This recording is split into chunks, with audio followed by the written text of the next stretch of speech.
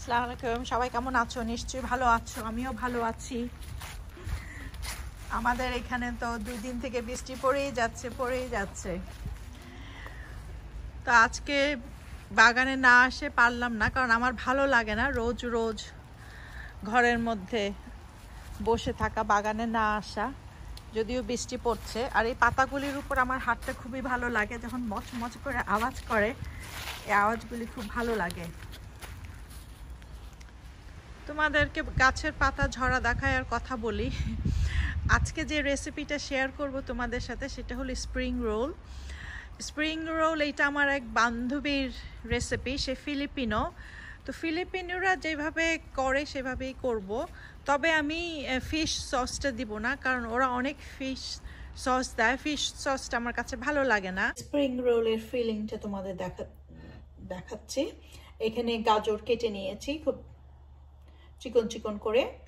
আর এখানে কিছুটা চিংড়ি আছে, ছোট চিংড়ি। চিংড়ির বদলে যদি মুরগি থাকে, মুরগির পিসও দিতে পারো। তা আমি চিংড়িটাই ভালো লাগে আমার কাছে।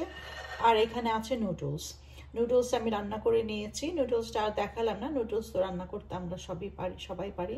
যে কোনো নুডলস হইলে হবে। তো এইটা হবে স্প্রিং রোলের ফিলিং ভিতরে। স্প্রিং রোলের শেপগুলি হলো এটা বড় বড় যেটা থাকে। এটা তো সব দোকানেই পাওয়া যায়। এইটা দিয়ে আমি স্প্রিং রোলটা বানাবো। আর ভিতরে ফিলিংটা কিন্তু এত ভিজা ভিজা হবে না, একদম ড্রাই হবে। কারণ ভিজা ভিজা হলে স্প্রিং শীতটা ভিজে গেলে কিন্তু ভাজা হয় না ভালো। দিলাম তার মধ্যে।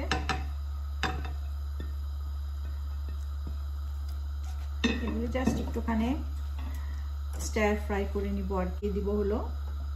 সয়া সস টেবিল চামচে দুই চামচের মতো আন্দাজ আমি দিয়ে দিব। সেসিম অয়েলটা এক চামচ দিলেই হবে। এক চামচ দিচ্ছি আমি।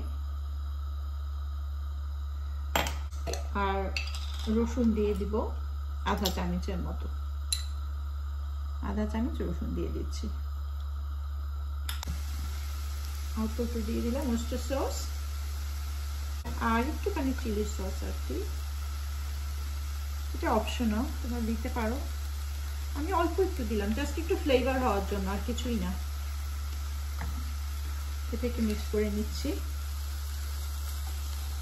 একটু নাড়াচাড়া করে দিচ্ছি।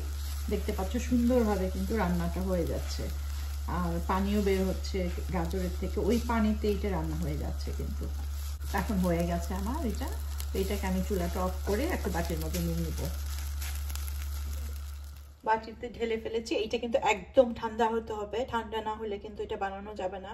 এটা যদি এখন বানাই, তাহলে ইয়েটা, পেস্ট্রিটা একদম নরম হয়ে যাবে এবং ভাজা ভালো হবে না কিন্তু। এটা ঠান্ডা করে নেই।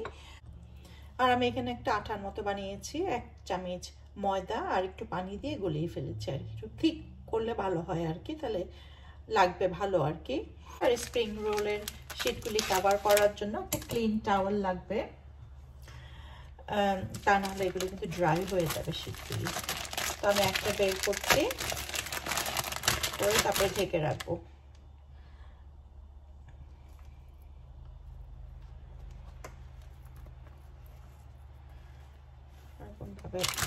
নিয়ে নিয়ে তারপরে এটাকে একটা কাপড়ের উপরে বসিয়ে ড্রাই কাভার করে দিতে হবে। তা নাহলে কিন্তু সাথে সাথে ড্রাই হয়ে যাবে। তো আমি একটা শীট নিয়ে নিলাম, আর তারপরে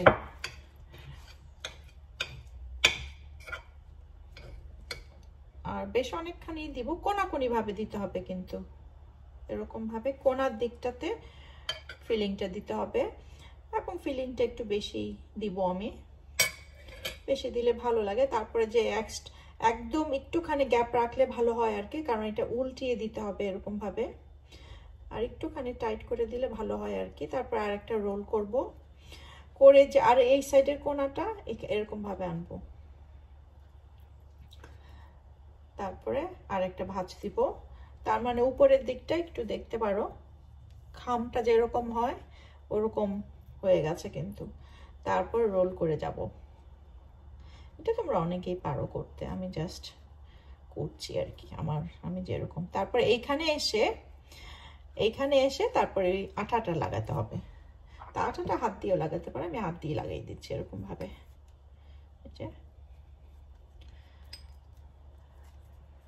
আমার ফ্রেন্ডকে আমি বললাম যে, তোমার রেসিপি ইউজ করছি। ও তো মহা খুশি। আর একটা বানিয়ে দেখাচ্ছি। আমি এক চামচের মতোই নিচ্ছি আসলে। দিব হলো এই কর্নারটাতে। কর্নার একটুখানি গ্যাপ রেখে দিচ্ছি। আর এই গ্যাপ, এইটা যেটা গ্যাপ ছিল, এটা এক্সট্রাটা উল্টিয়ে দিব এরকম ভাবে ফোল্ড করে দিব, তারপর আরেকটা ফোল্ড করব। আর এই কর্নারটা নিয়ে আসব এইখানে আর ভাজ দিব, আবার এখানে আরেকটা ভাজ দিব। তারপর উপরটা হয়ে যায় এনগ্লাপের উপর যেরকম, এরকম আর কি। তারপর এটা ভাজ করতে করতে নিয়ে যাব। এখানে এসে থেমে যাব। থেমে এখানে হাত দিয়ে গ্লু দিয়ে দিব ব্রাশ দিয়ে। ব্রাশ অবশ্য ভালো হয় না, হাত দিয়ে ভালো হয়। তারপর এটাকে আটকিয়ে দিব, ব্যাস। এই তো, হয়ে গেল। তা আমি এরকমভাবে সবগুলি এখন বানিয়ে নিই। তো আমার বানানো হয়ে গেছে, সবগুলি বানিয়েছি। কিছুটা আমি, বেশিরভাগই আমি ফ্রিজ করে ফেলেছি। একটা বক্সের মধ্যে ঢুকিয়ে ফ্রিজারে রেখে দিয়েছি। আর কটা আমি এখন ভাজবো। তো এখানে আমি একটা ওয়াকে তেল দিয়ে দিলাম আর কি। তেলটা অনেক গরম করতে হবে। সমোসা যেরকম আমরা গরম করি, তেল এরকমভাবেই করতে হবে, তেলটা গরম। তেলটা মোটামুটি গরম হয়ে গেছে। আর স্প্রিং রোল কিন্তু তাড়াতাড়ি ফ্রাই হয়ে যায়। সমোসার মতো তো সময় লাগে না। আমি চারটাই দেবো একসাথে।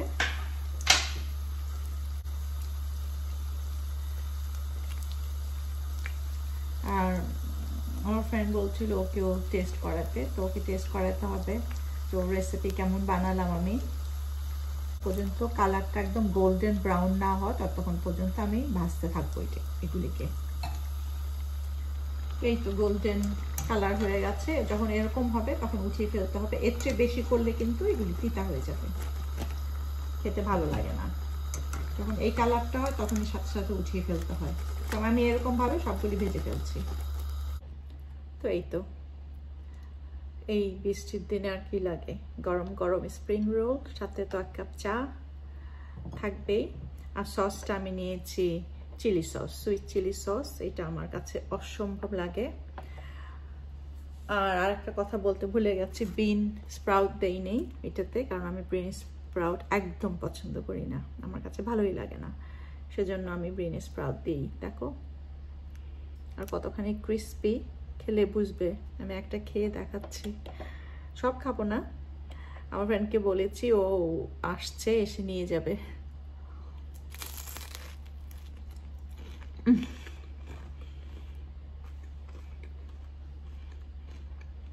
অসম্ভব মজা। দেখো। আর ভিতরে চিংড়ি দেওয়াতে কিন্তু অনেক মজা হয়েছে।